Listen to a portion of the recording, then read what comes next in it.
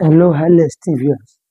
This is happiness on the platform. So for s in 2 raised by s minus 1 plus 2 raised by s plus 1 equal to 80. Now let's go. Solution.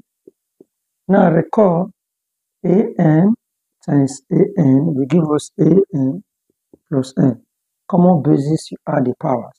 Now the question is in this form. Let's take it to this one. So we have it as 2 raised to the power of s times, which is multiplication 2 raised by minus 1 plus plus 2 raised by s dot which is times equal to 80. Recall that a inverse of 1 is same thing as 1 over a. So let's take this a fractional value. 2 raised by s dot 1 over 2 plus 2 raised by s dot 2 raised by 1 equal to 80. Now 2s is common to both terms, so let's factor it out. 2 raised by s. This we cancel this, you are left with 1 over 2 plus 2 raised by s, we cancel 2 raised by s, you are left with 1. I mean, sorry, you are left with 2. This over 1 equal to 80.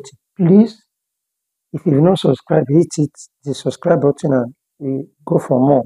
Now this is 2 raised by s now SM of 2 and 1 will give us 2. This 1, 2 times 2, 4, equal to 80. This 2 raised by S, dot which is times 1 plus 4, 5 over 2, equal to 80. Now, let's quickly cross multiply so this will give us 2 raised by s dot 5 equal to 80 times 2. Use this to, to multiply this out, multiply both sides by 2. Invariably, this will give us divide by 5, divide by 5, 5, 5 will go. 2 raised by s equal to this one, this 16, which will give us 32. Now let's take the both sides to the same base. This is 2 raised by s 2 raised by 5. Since the bases are the same, we equate the powers. Therefore, S is equal to 5. That is the final answer. Please do well to hit the subscribe button and follow us for more. Bye.